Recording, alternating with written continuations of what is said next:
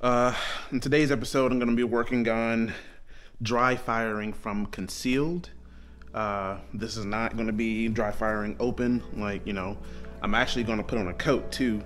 Because uh, normally when I'm out and about in the city, I have, you know, a long sleeve. I wear a long sleeve if it's 100 degrees or not, to be honest. Um, and I have on some type of hoodie. I'm never really out in just like a small fleece or um, thermal or anything like that. I normally have something covering. Uh, I'd say 75% of the time. I can't say not always, but um, I wanted to kind of practice to how I go out in the city. And I think that if you're gonna do this, you should practice on how you go out in the city. Just don't take what I do as as word. You know, you should practice as you would for yourself right there for now. Take this out to show you. So if you can see this, um, I have this uh, concealed draw and trigger pull. Uh, so I'm supposed to be able to use this timer and it picks up my draw, my dry fire uh, accurately. Uh, and I've already verified this on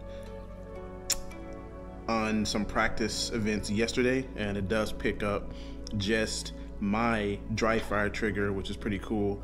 Uh, so I've set my timer for I have to be able to draw from concealed, pull up my shirt from concealed, pull it out, find my target, and click the trigger before two seconds. That's my goal right now. And as I get better at this, you know, I'll kick it down to 1.5 seconds one second. I don't know if I can do a, a accurate pull of my shirt, pull my firearm, and accurately find someone and fire all within one second. But hey, who knows? With track with practice, I might be able to, but I doubt it. Um, uh, two seconds seems to be um, well within range. I should be judging by what I've done in practice. I should be somewhere around like one six, one seven. Um, 175 with pull shirt and and draw accurately, find my target, dot on target, shoot. That's that's only how I'm going to perform. If I don't have my target on it, or if my hands are in the wrong position, I, I consider that to be a, a negligent discharge for me, because um, my shot's going to go somewhere that I don't want it. So uh, I mean, within three yards, it really doesn't matter um, or if you're aiming or not at three, even in five. But when you're out at 15 yards, which is your LTC range, um, licensing range, it'll be three, five, or three, seven, and 15. Um, you definitely want to just practice aiming down sight, finding your target, putting that dot on the target if you're using a red dot, you know, and your iron iron sights if you're using your uh, if you're using your uh, you know iron sights make sure those are on target before you click the trigger because uh, you really want to know where your shot's going kind of thing. So before I talk your ear off I'm gonna go ahead and set this back up and we are going to get started with the dry fire. Stay focused. All right, so one of the things I got to do before starting is to make sure that I deactivate my live ammunition because this is my daily carry. Don't have anything, but I do have ammunition that I keep on the ready.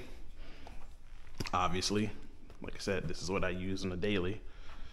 Uh, but I do have an empty magazine for this session that I'm going to use.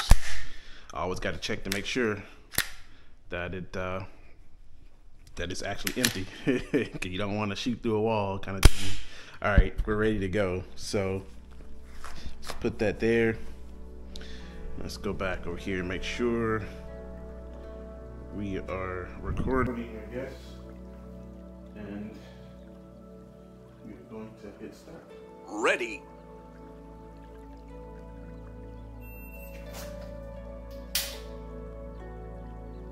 ready.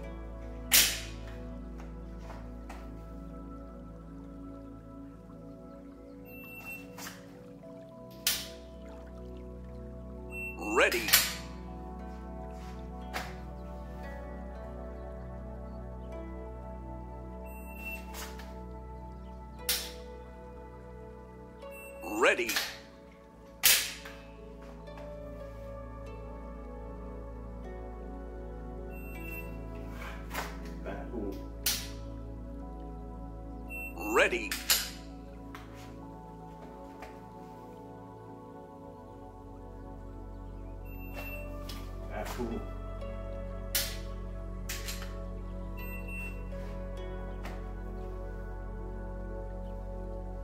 All right, so as you can see, um, when we do the playback here, uh, pretty bad, pretty bad on my starts.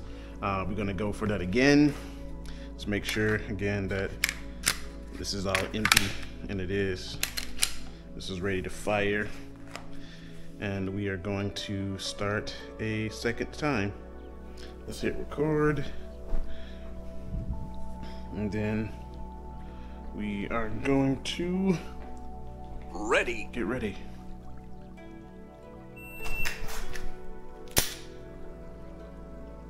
Ready.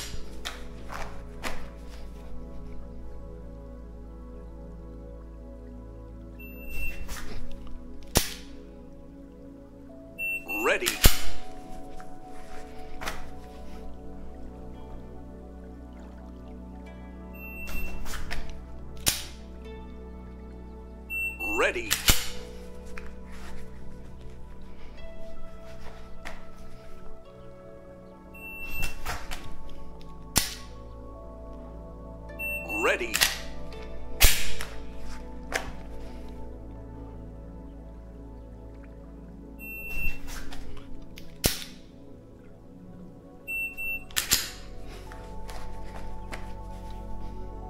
All right, so we're gonna go uh, over to our history here.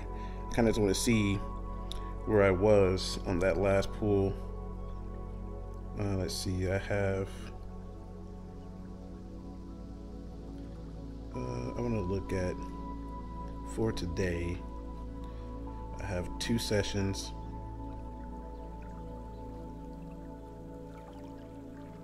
So, set one, I have it here what is that 1.82 1.78 1.74 and 1.78 so i have some room for improvement and just keeping my just staying solid like like to stay solid and you know don't pull the trigger so hard kind of thing. Uh, watch the video want to play back and see on this one. I, I did get better from the first get go. As you see here, uh, I have a 196, a 203, which is fail time, 225, which is fail time, and a 277, a 291, which is fail time. And that's because I couldn't. some of the problem with concealed carry draw is actually pulling the shirt out of the way uh, to give yourself enough enough room to get it out of the way and get your firearm out. And sometimes it gets stuck in the shirt and it's very annoying. and you don't, you really don't want that to happen when you need your Second Amendment to, to work because that that's not good. Uh, so we're gonna go. Uh, let's hit this up at least two more times. Uh, no, I didn't want to go out. Let's hit this up at least two more times on training for this session overall, I'd say, man, I'm really, really liking um, this Shooters Global timer. Like this thing is pretty cool. So all right, set up. Okay. Get a nice little stance here. Ready. Ah, I'm supposed to do that. Ready.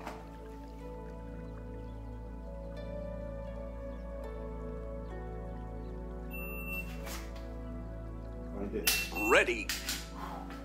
That was slow. Couldn't find it.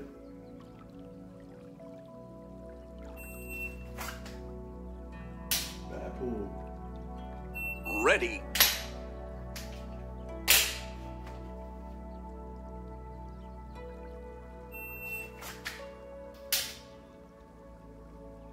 Ready.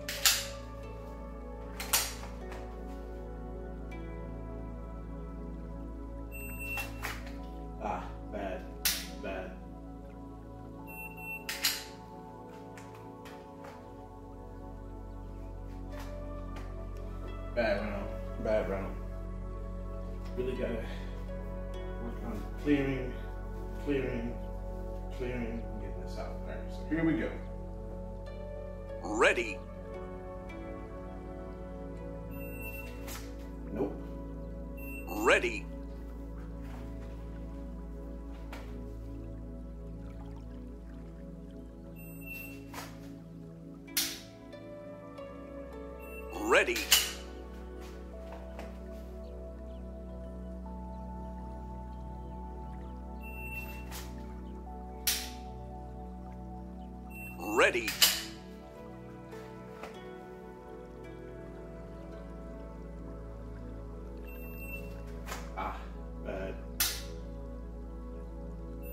Ready.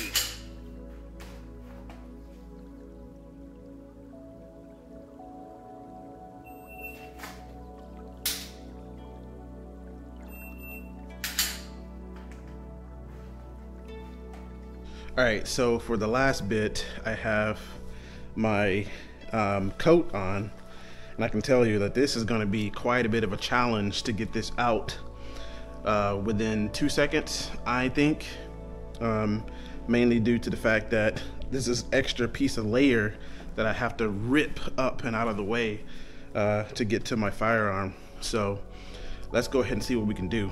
It's gonna hit start, start recording on the, on the timer over here. Ready.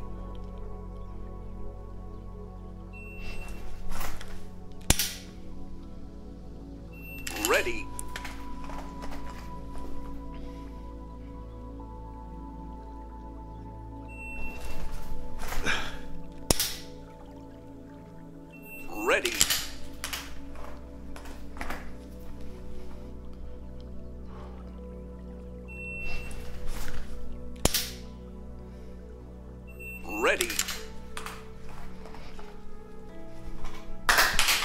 Snaps.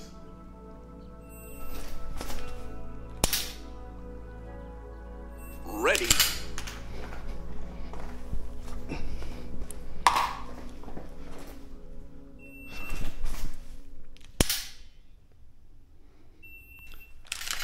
Whew, that wasn't so bad, I think. I gotta check the camera to see. But yeah. Uh, so we got a 2 6, a 1 9. Uh, let's pull this off. Pull this off and take a look.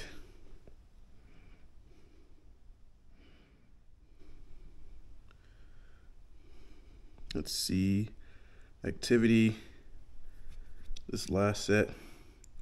So we got a a 19, a 24, a 198, 206, 202. So there's definitely some room for improvement in, you know, my draw. I'm still a little iffy on drawing and actually, well, I'm seeing everything down sight, uh, but pulling the firearm from holster, I got to work that grip uh, a little better. Uh, and that's just going to come with practice, you know, getting down there and getting it out and getting your hands in the right place. Because you're trying to do this pretty quick. Uh, so I just need to practice. I just need to practice more. And now that I have this really awesome tool from Shooters Global, this allows me to one, shoot, dry fire, and shoot, and video record myself all in the same app and with the device so that I can kind of watch um, my posture and everything. And I'm looking at myself on on the uh, on one cam to the next, and it looks kind of weird. But I think this is this is the future, man. You know, this little device here really really helps, and you can see all your best times on this thing right here. Uh, it's pretty cool. So. You know, I'm not sponsored by Shooters Global. I paid full price for this thing, uh, no discounts, uh, if you will. Uh, and I wanted to try it out because I, well, I wanted to get a timer. You don't need to get this timer specifically, but I wanted to get a timer uh, that allowed me to dry fire without having to do anything extra. Uh, and this this thing does what I want. The added benefit is the uh, Android app that allows you to do and see what you're seeing here uh, with my shots up on the up on the video. So you get to see all of that and you can see yourself real time to see what you need to work on, where you're weak at, And uh, I think that's pretty cool. For me, as a YouTuber and influencer, I think that this works out well uh, so that you all can see, you know, you saw my flaws, uh, you know, on display. You know, there's no hiding. I'm not even going to edit edit this much. Uh, you saw all of it. So you know where I need to practice at. I know where I need to practice at. And I'm going to try to at least drop this time down with my uh, hoodie on to at least 1.5 seconds, maybe even 1.6 seconds. I'm going to try to drop it down. Um, and that should be, I mean, that's that's hella fast uh, to draw from concealment, you know? i am pretty sure that I can draw without concealment a lot faster. If I'm just drawing straight, we're not having to pull something up. I mean, it's gonna be faster. I would say I'll be like 1.3, 1.4 seconds. Um, but we'll see. I'll get to that in the future. But right now, it's about what I'm actually wearing on a daily, how I'm going about the city, you know, whether in town, out of town, and can I draw from concealment on something that I carry on a daily. Um, the short answer to that is yes, but the long answer is that is I need a hell of a lot of practice. And maybe you do or do not. You know, we're all, I'm not John Wick. But I'll leave you with that, and uh, I'll catch you in the next one. Peace.